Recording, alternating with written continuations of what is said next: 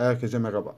Kanalıma hoş geldiniz. Doktor Fahrettin Koca tarafından yapılan açıklamalara göre ülkemizde vaka vefat sayılarında ciddi derecede üzücü gelişmelerin olduğu ifade edilmiş durumda.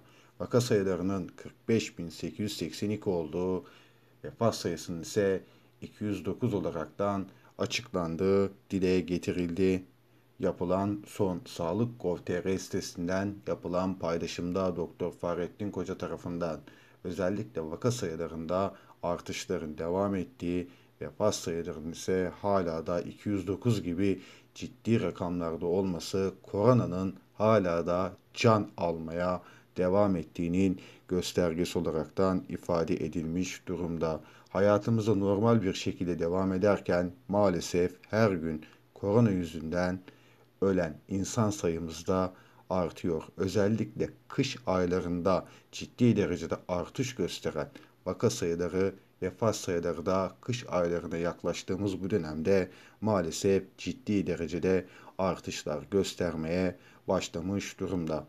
Biz buradan hayatını kaybeden 209 kişiye Allah'tan gani gani rahmet sevenlerine ve yakınlarına başsağlığı dileklerimizi iletiyoruz.